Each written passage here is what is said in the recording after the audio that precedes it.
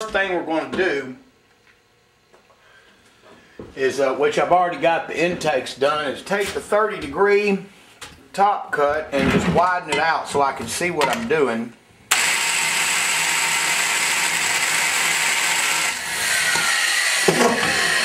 Okay, as you can see, that widened out the seat a little bit on the top, getting ready to enlarge it for the 160 valve. And I'm going to do all them first, do all the 30s, and then I'm going to come back and hit the 60s and pull it up, and I'll show you how I do it. Alright? First, first part is the 60 degree angle. This is the one that does the most damage as it does the the digging, if you will, to enlarge it for the bigger valve and sets the line between the 30 degree and the 60.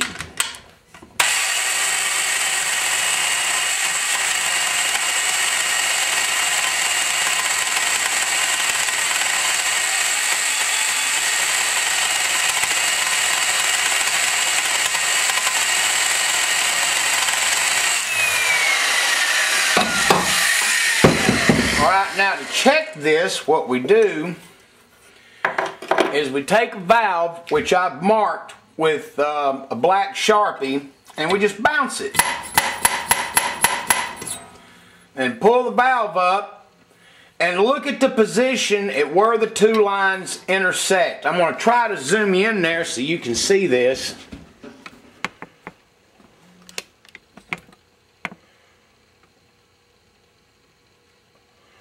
Okay, it's still a touch to the high side. It's a little bit high. I'm trying to move that line on down near the bottom. So what we're going to do is I'm going to face off on this a little bit and we're going to dig just a little bit more. Okay, let's see what we got.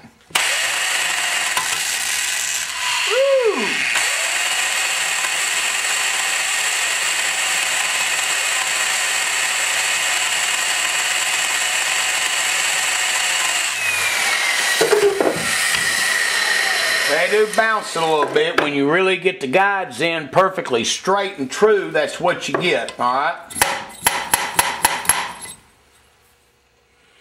Alright, now that's what I'm looking for right there. Let me try to zoom in and get you a look on it. It's right now about 10 thousandths or so from the very edge of the valve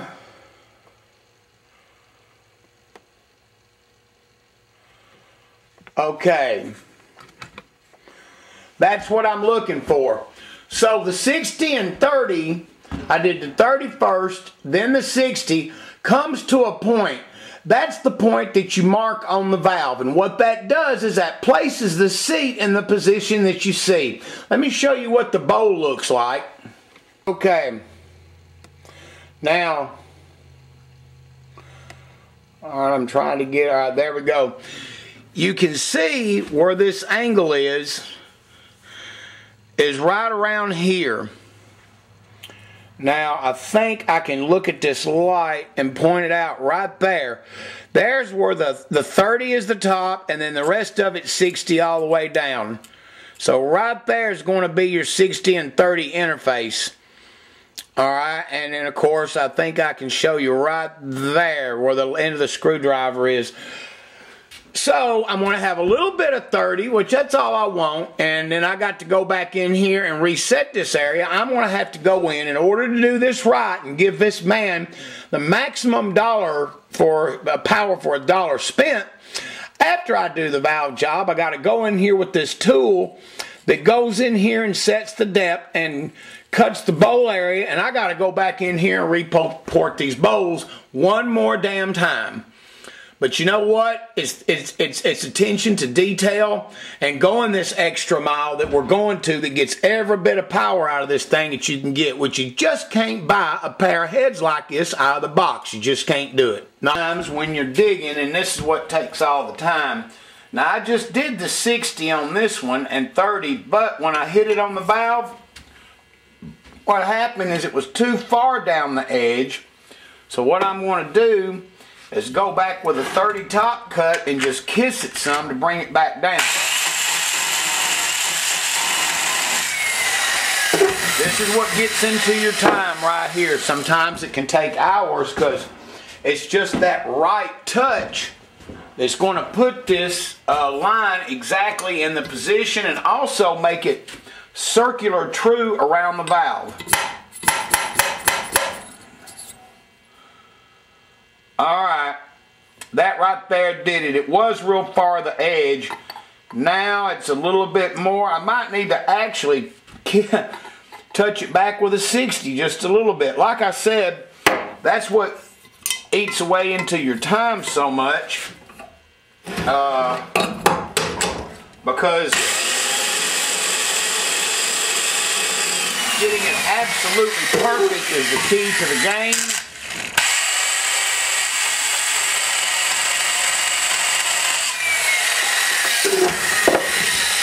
Then of course you got to remark your valves with the Dykem and go through that. But I just thought I'd show you when you're doing a real three angle valve job, it can take up to three hours with the stones.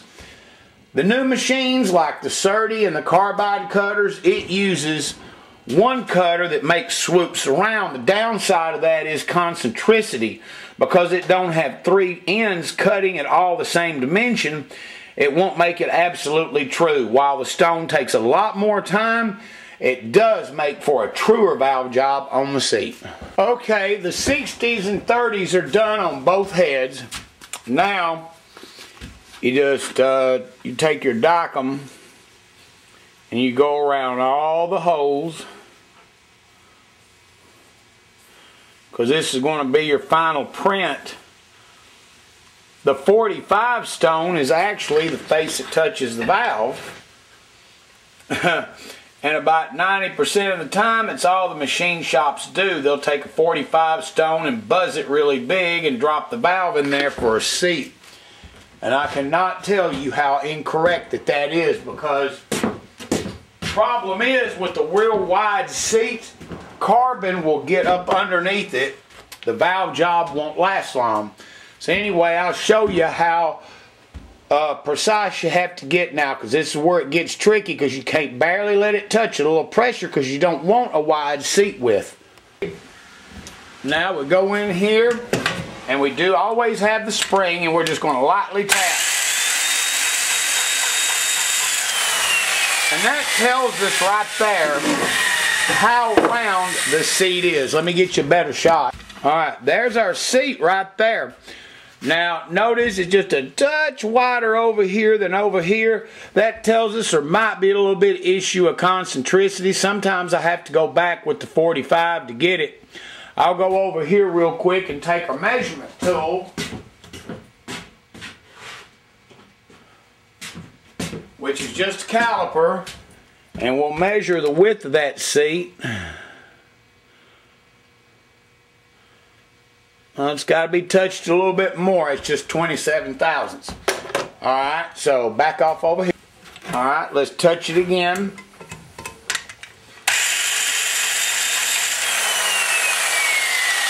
That's going to pull it in exactly where it needs to be. As I depressed a little bit down and even the seat up a little bit, Looks like 50 thousandths is what we got for a seat width. That one's done. So, as you can see, the 45 is the easy part. The valve job is indeed the 60 and the 30, which takes all the time. You just have to be very careful touching that last little bit, barely letting it bump and touch it till you see the seat start to come in. Now, another good indicator is look at the stone. Notice how it's the same darkness all the way around. It don't matter where we turn it.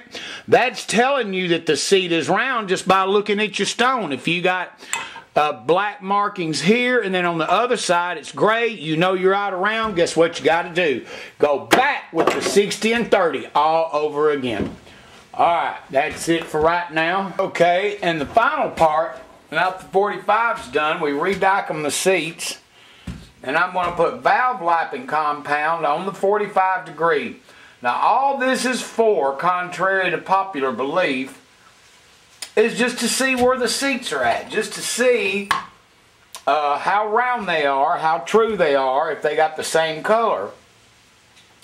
if there's any question of this, the real test is the seat runout dial gauge, which I have. And I'll go in there and put the runout dial on a couple of seats and see how true that the seat is in relationship to the 90 degree angle uh, of the valve guide. Alright, we're ready to begin lapping, which uh, a pretty straightforward operation. I got a pretty good lapping stick that uses pressure. Okay.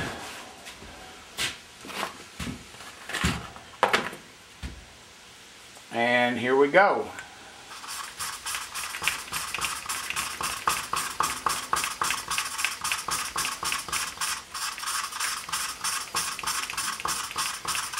Spend just a few seconds buzzing it. We'll get back with this in just a little bit.